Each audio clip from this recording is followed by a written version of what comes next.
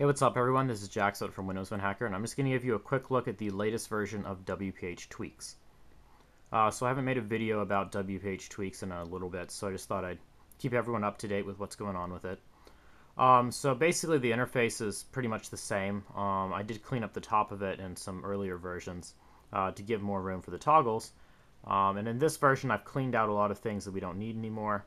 Uh, I've also removed a couple of settings in here that were causing problems for issue, uh, some issues for people, and um, clarified a couple of things uh, that people were asking me about.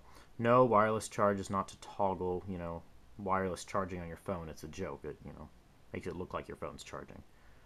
Anyway, um, but um, I also added in a little tool I want to show you guys called Change Splash. Okay, so Change Splash is sort of something I created um, you know, as the name suggests, to change the splash screen on your phone. Um, and there is a splash changer somewhere on WPH right now that lets you change the splash, but it's really quite a pain to use. So this is sort of an experimental feature I added in there.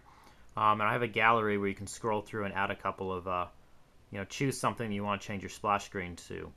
Um, and since it's experimental, I haven't really added much to it, but, um, you know, if you're interested and want something added to it, um, you know, I can add that to it for you. Or um, I also was working on a feature to add your own custom image based on uh, files on the device, but the conversion from JPEG to uh, you know a Windows bitmap is a little bit of a pain. I was going to do it over the cloud, but I'm not sure, you know, if that'll really work. But if there's demand for it, I'll cook it in there. So just let me know on that.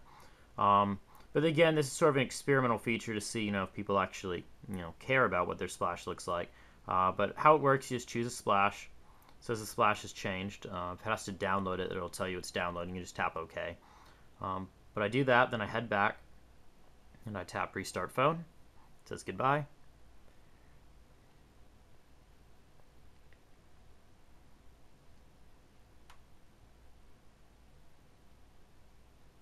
And it'll boot up again. And hopefully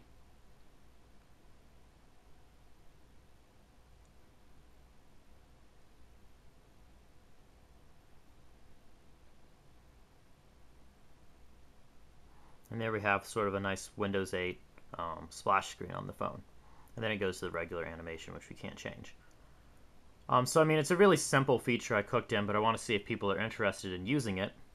Um, and then other than that, I've made a couple of uh, tweaks and changes to the Tweaks application itself. Um, so a bit of irony there. But um, if you have any feedback or suggestions for it, of course, let me know.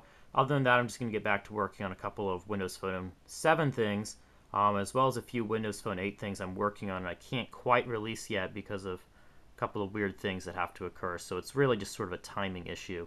Um, but again, I'll just get back to work on that stuff and you guys give me some feedback on that and that'll be great. Have a great day.